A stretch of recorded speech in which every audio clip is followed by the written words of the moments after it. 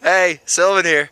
Um, just wanted to update everybody on how I'm doing this season so far.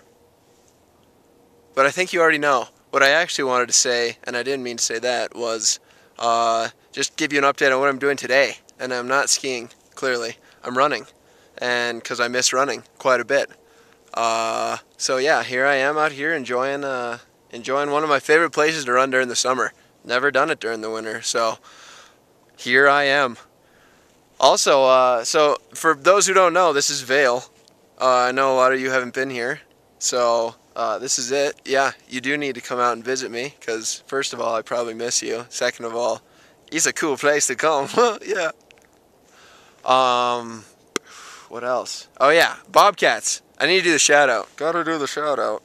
Uh, get her done this weekend, and uh, get her done the rest of the season. You know, you deserve it. You've been working your your tails off. So good luck.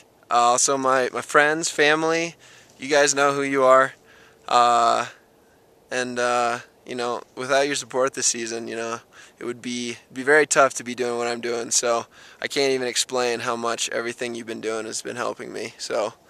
Um, this might I don't know if this looks cool. It might, might not, but I'm going to test it out anyway.